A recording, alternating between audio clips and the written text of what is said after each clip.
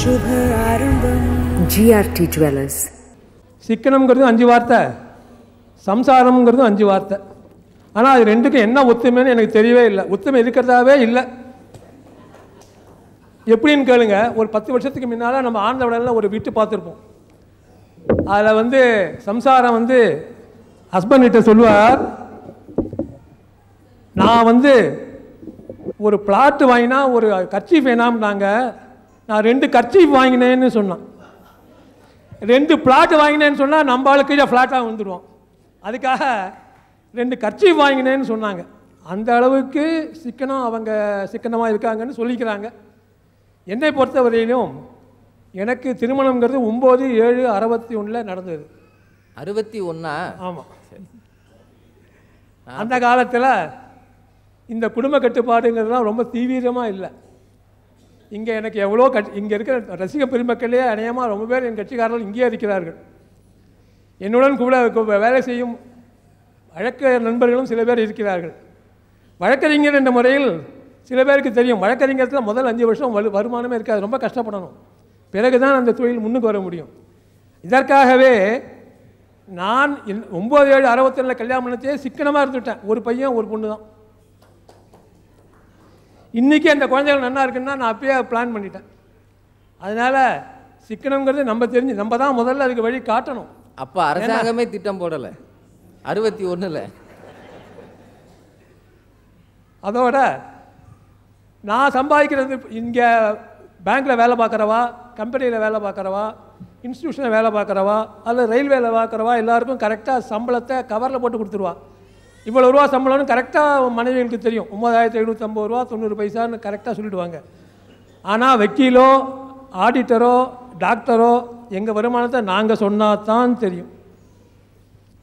அந்த விஷயத்தில் நான் ரொம்ப கண்டிப்பு. எனக்கு என்ன வருமானங்கிறத என் ஒய்ஃப்ட்ட இதுவரையும் நான் சொன்னதே கிடையாது.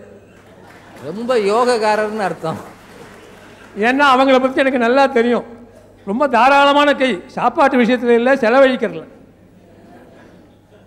அதுக்காகவே பயந்துட்டு நான் கொடுக்குற பணத்தை வச்சுட்டு இதோ செட்டாக இருந்துக்க இதுக்கு மேலே என்கிட்ட ஒன்றும் பணம் கிடையாது அப்படின்னு சொல்லி அப்படியே கொஞ்சம் கொஞ்சமாக அவங்கள திருத்தணும்னு தான் ஆசைப்பட்டேன். திருந்திடுவான் திருத்திருக்கா திருந்துட்டாங்கன்னு தான் நினச்சிட்டு இருந்தேன். திருந்தலை. இப்போவுமா? இப்போவும். அதனால் நம்ம சம்பாதிக்கிறத நம்ம செட்டாக இருந்தால் தான் நம்மளோட சம்சாரத்துக்கு கேட்குற போது பணம் கொடுக்க முடியும். ஏன்னா அவங்கள நம்பி நம்ம வந்து நிச்சயமாக நம்ம நூறுரூவா கொடுத்தா நூறுரூவாய்க்குள்ள எம்பளை இப்போ சொன்னார் நூறுரூவாய்க்கு எடுத்து இருபது ரூபா செலவு பண்ணி எண்பது ரூபா மிச்சப்படுத்தி கொடுத்தான்னு. அந்த கணக்கே அவளுக்கு தெரியாது. நம்ம தான் கரெக்டாக இவ்வளோ ரூபா கொடுத்து இதுக்குள்ளே செலவு பண்ணுங்கன்னு சொன்னால் தான் அவங்களுக்கு செலவு பண்ண தெரியும்.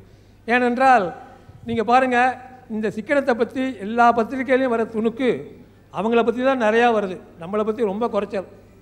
எல்லா சிக்கனத்தை பற்றியும் வேடிக்கையாக எழுதுறது பூரா பெண்களை பற்றி தான் நிறையா எழுதுறாங்க. சிக்கனம் சிக்கனம்னு சொல்லி இதை பண்ணாங்க அதை பண்ணாங்கன்னு சொல்லிட்டு. இதிலிருந்தே தெரிஞ்சுக்கலாம். சிக்கனங்கிறது ஆம்பளைக்கு பட்ட சம்மந்தப்பட்டது தான் பெண்கள்கிட்ட சிக்கனை எதிர்பார்க்கறதுங்கிறது தப்பு என்பது என்னோட சாமியான அபிப்பிராயம். வாய்ப்புக்கு நன்றி கூறி வழக்கறிஞர் ஐயா அவர்கள் சம்பளத்தை வீட்டில் சொல்கிறது இல்லை எத்தனையோ போய் சொல்கிறோம் அது அடிஷனல் எதுக்கு சொல்லுவானே? அப்புறம் அந்த அம்மாவை நம்மளை போட்டு மெல்லுவானே? இங்குடுத்தானான்னு சொல்லுவானே? தோ வேண்டாம். இவ்வளவுதான். வச்சுக்க நம்மளே எடுத்து ஒதுக்கி வச்சிட்டோம்னா அப்பப்போ போட்டுடலாம் சும்மா கொடுத்துட்டு அப்புறம் கையை கட்டி நின்று இதெல்லாம் தேவையில்லை. அவங்களுக்கு சிக்கனத்தை பற்றி தெரியாது. ஒரு வரி. அது என்ன எனக்கு வருத்தம்னா அறுபத்தொன்னில் கல்யாணம் ஆகி ரெண்டாயிரத்தி மூணு வரைக்கும் திருந்தலைன்னு சொன்னார் பாருங்க. ஐயோ அப்பா ரொம்ப துணிச்சலுங்க அது. அது பக்கத்தில் வச்சுக்கிட்டே சொல்லணும்னா அவங்க சும்மா விட்டுருவாங்களாக்கும். இப்போ பாருங்க அவங்கள. அரபிந்த அன்னை தியான மையத்தில் செயலாளர் திருமதி லட்சுமி ரங்கநாதன் அவர்கள். பெண்கள் தான் சேமிப்பிலும் சிக்கனத்திலும்னு பேச வராங்க. வாங்க. நடுவர் அவர்களுக்கும் கல்யாண மாலை ரசிக பெருமக்களுக்கும் என் அன்பார்ந்த வணக்கம். இப்பொழுது சொன்னாரே அவ்வளவு அப்பட்டமான பொய்ங்கிறத நான் இங்கே சொல்லி வச்சுக்கிறேன் அவ- அவர் சம்பாதிக்கிறது என்னமோ உண்மை. ஆனால் அவர் மறைத்து வைத்து கொடுக்கிறார் என்பது பொய். இது தேவையா ஐயா? நான் திருந்தலை என்று சொல்றாரு நான் திருந்தலைன்னா இன்னைக்கு என் பெண் பிள்ளை குழந்தைகள் எல்லாம் ஃபாரினில் இருந்து நன்றாக சம்பாதித்து கொண்டு அவர்கள் தன்னுடைய கா காலத்தை நன்றாக சிக்கனமாக வைத்து அவர் வீடு வாசல் எல்லாத்தோடும் இருப்பதற்கு காரணமே நானே தான் இன்றைக்கும் சொல்லுகிறேன் பள்ளிக்கு என் பிள்ளைகளை அனுப்பும்போது அவர்கள் எத்தனாம் கிளாஸ் படிக்கிறார் என்று இவரை கேளுங்கள். தெரியுமா என்று கேளுங்கள். ஏம்மா இப்போ கேட்டால் எப்படி தெரியும்? அவங்க தான் வேலைக்கு போயிட்டாங்க இல்லை அவர் படிக்கும் காலத்தில் குழந்தைகள் நான் வந்து அனுப்பும் காலத்தில் ஒரு புஸ்தகத்தை கொண்டு வந்து கையெழுத்து போட்டு கொடுப்பா என்று கேட்டான் பிள்ளை. அதுக்கு இவர் என்ன சொ பக்கத்தில் உட்காந்துருக்கிற ஒரு கட்சிக்காரர் கேட்குறாரு உங்கள் பையன் என்ன சார் படித்தாரு அப்படின்னு கேட்கும்போது தெரியலையே. பா அசோக் என்னப்பா நீ படிச்ச? அப்படின்னு அவனே கேட்டார் அவர். அப்பேற்பட்ட இவருக்கு குடும்பத்தை பற்றி என்ன தெரியும்? சிக்கனத்தை பற்றி நல்ல தெரியும்? யாருப்பா நீன்னு கேட்காம இருந்தாரு?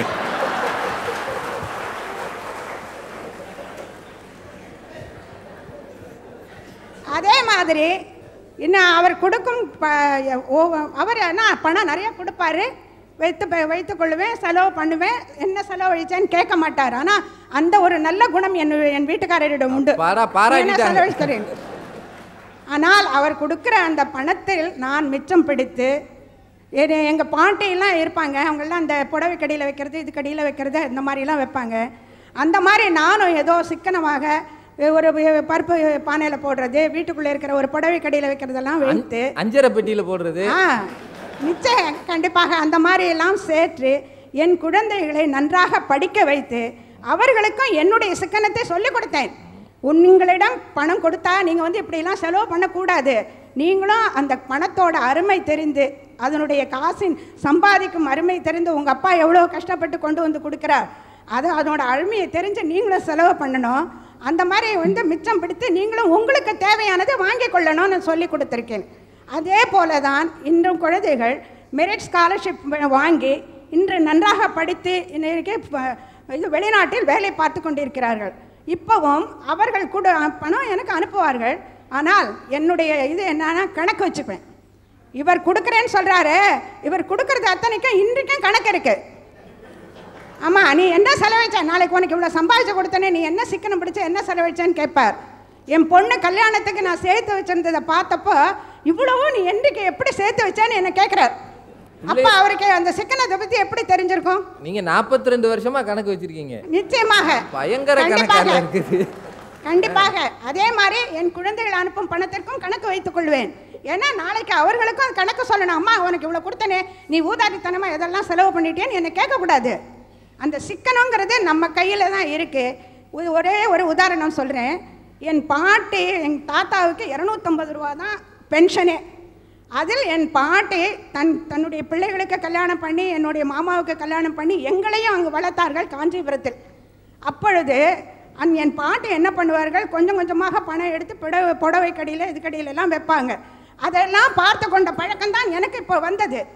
தன்னுடைய சாவுக்கு பிறகு அவர்களுடைய பெட்டியில் இருபதனாயிரம் ரூபாய் வைத்திருந்தார்கள் தன்னுடைய அந்திம காலத்திற்காக எனக்கு அந்த ஒரு இது என்னுடைய என் மனதில் என்றைக்கும் உண்டு. நான் என் சிறு பிள்ளையிலிருந்தே இந்த மாதிரி நாமளும் நம்ம வாழ்க்கையில் நம்ம இருக்கணும்னு நினச்சி என்னுடைய அஹ், செலவுகளை எல்லாம் கட்டுப்படுத்தி கொண்டு என் குழந்தைகளை நல்ல முறையில் வளர்த்து இன்னைக்கு நன்றாக இருக்கிறார்கள் என்றால் அது என்னுடைய சிக்கனத்தினால தான்.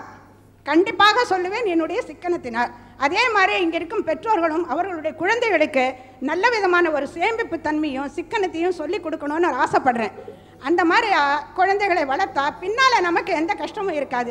குழந்தைகள் நம்மளை வந்து கணக்கும் கேட்க மாட்டார்கள். நீ ஏன் இப்படியெல்லாம் இருந்தேன்னு ஊதாரித்தனமாக இருந்தேன்னு நம்மளை பேசுறதுக்கு வாய்ப்பு இருக்காது. கண்டிப்பாக இருக்காது. கண்டிப்பாக இந்த குழந்தைகளுக்கு அந்த மாதிரி ஒரு இது இருக்குது இப்பொழுதும் ஒரு பிறந்த நாள் என்று எடுத்து வைத்துக் கொள்ளுங்கள். என் குழந்தைகள் என்ன சொல்வார்கள்? அம்மா நீ அதிகப்படியான சாமான்கள்லாம் வாங்காதே. சிக்கனமாக பண்ணு. ஒரு கருணை இல்லத்திற்கோ ஒரு எந்த இல்லத்திற்கோ ஏதோ சாப்பாடு போடு ஒரு பத்து பிள்ளைகளுக்கு அப்படின்னு சொல்லி பணம் கொடுக்கிறார்கள். நான் சாப்பாடு போட்டு கொண்டு இருக்கிறேன் கருணை இல்லத்துக்கு பிறந்த நாள் ரொம்ப அருமையா சொல்லியிருக்கிறீங்க. ரொம்ப நன்றி. ஆகவே இந்த மாதிரி ஒரு நல்ல வாய்ப்பினை கல்யாண மாலையில் எங்களுக்கு கொடுத்து இந்த சூப்பர் ஜோடியில் பேச வைத்தது வைத்ததற்கு எல்லோருக்கும் நன்றி சொல்லி என் உரையை முடித்துக் கொள்கிறேன். திருமதி லக்ஷ்மி ரங்கநாதன் அவர்கள் வழக்கறிஞர் மனைவி இல்லையா? அதனால் அந்த எக்ஸிபிட் காட்டுறாங்க சான்று. அவங்க பாட்டி இரநூத்தம்பது ரூபா பென்ஷன்லையும் இருபதனாயிரம் சேர்த்து வச்சுருந்தாங்களாம். அந்த காலத்தில் வேலை பார்த்தவங்களுக்கெல்லாம் இரநூத்தம்பது ரூபா தான் பென்ஷன். இப்போ போகிற போக்க பார்த்தா இனிமே ரிட்டையர்ட் ஆகிறவங்களுக்கு அவ்வளோதான் இருக்க போகுது. என்னமோ ஏதோ. ஆனாலும் அந்த இரநூத்தம்பது ரூபா பென்ஷன்லையும் அவங்க இருபதனாயிரத்தை புடவைகளுக்கு அடியில் சேர்த்து வச்சுருந்துருக்காங்க பாருங்கள் அதாவது புடவைகளை உதறுனா சில வீடுகளை அந்தூர்ண்ட விழும். சில வீடுகளில் இந்த பாச்சாம் பள்ளி வரும். இவங்க வீட்டில் பணமாக கொட்டியிருக்கு பாருங்க. அந்த புண்ணியவதியை நினச்சி அவங்க பேசினாங்களே நீங்கள் சிக்கனமாக இருந்தால் பிள்ளைகளுக்கு சொல்லிக் கொடுக்க பழகுங்கள். அனாவசியமாக ஆடம்பரமாக பிள்ளைகள் இன்னைக்கெல்லாம் வளர்றானேன்னு அவங்க ஆதங்கத்தை வெளிப்படுத்தி ரொம்ப அருமையாக பேசியிருக்கிறாங்க முதல் சூப்பர் ஜோடி. அவர்களுக்கு நம் வாழ்த்துக்களும் பாராட்டுகளும் நன்றிகளும். அடுத்து பேச வருகிறவர் திரு ஆறு காளிதாசன் அவர்கள். பேச்சாளர் பேராசிரியர் கரந்தை தமிழ் கல்லூரியை சார்ந்தவர். அவரும் அவரது துணைவியாரும் வர்றாங்க. முதல்ல அவர் ஆண்கள் தான் இதற்கு அடிப்படை காரணம்னு பேச வருகிறார். வாங்க. ஆச்சி அதிரசமா விடுங்க கையில தட்டி சூடான எண்ணெயில பொரிச்சா அதிரசம் ரெடி ஆச்சி உடனடி அதிரச மாவு. Bavento, Bavento. Always chill with Bavento. Always chill with Bavento Kalyana Malai மோகன் தலைமையில் இயங்கும் எக்ஸ்க்ளூசிவ் சர்வீஸ் வரன் பற்றிய விவரங்கள் வெளியே செல்லாமல் மிகவும் பாதுகாப்பான மற்றும் பிரத்யேகமான சேவை. விவரங்களுக்கு nine eight four zero eight nine one four double zero மற்றும் double nine four zero four triple one two five